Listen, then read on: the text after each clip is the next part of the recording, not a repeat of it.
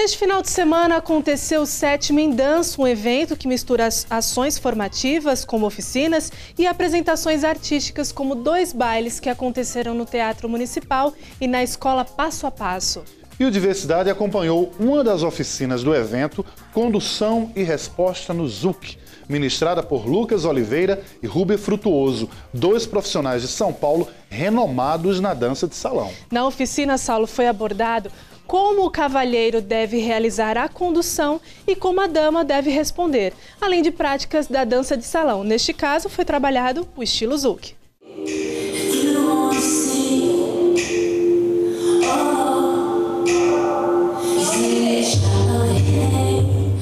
Existem várias formas de se trabalhar o corpo e o movimento, né? Porém, eu acredito que a funcionabilidade do movimento seja universal. Claro que existem movimentos específicos para cada modalidade de dança, porém, é, na sua essência, tudo que a gente trabalha é possível transitar para outras modalidades. É exatamente isso, né? São dois corpos procurando trabalhar a mesma linguagem. O cavaleiro é propondo a condução e a dama com a resposta para poder exercer um movimento bem legal.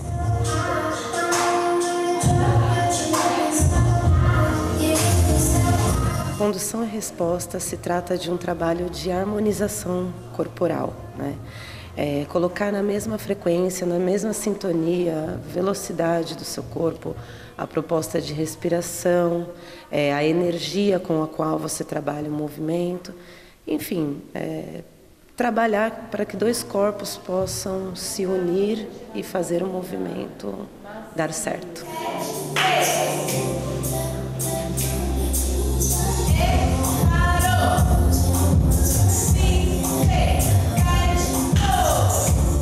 Acho que é sempre importante é, as pessoas estarem dispostas a compreender o corpo do outro também, além do seu próprio. Né? Então, na minha opinião, essa é uma das partes mais importantes de condução e resposta.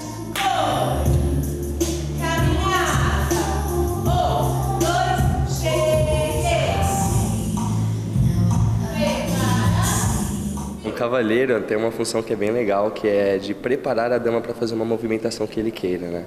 Então nós somos responsáveis pela condução, né? De propor alguma movimentação e a dama, por, por se tratar de ser a dama, de executar a movimentação que eu estou propondo para ela, né? Então isso que é bem legal, é eu querer fazer que a dama exerça uma movimentação junto comigo, só que como ela não sabe como que eu vou querer fazer essa movimentação, tem que existir a condução para mostrar o caminho, né, para a execução do movimento. Culturalmente, né, isso começou há, anos atrás, desde a época das cortes, é, as mulheres nem dançavam. Quem, quem dançava realmente nas cortes eram os homens. E então, culturalmente, a proposta ainda hoje é feita pelo cavalheiro. Mas hoje em dia já existem estudos também para que ambos consigam influenciar na dança um do outro, né?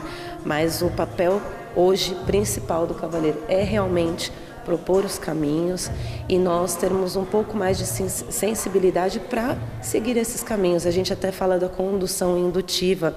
Hoje já existe uma diferença do que era anteriormente. Antes era mais impositivo, mais físico. Hoje já existe a ideia de respiração, de fluidez, de dar espaço, de bloquear o espaço. Então a dança vem sofrendo uma transformação. E junto a isso, as mulheres também têm trabalhado um pouco mais ativamente mas no contexto geral, ainda o papel da mulher hoje é seguir a condução e entender os caminhos.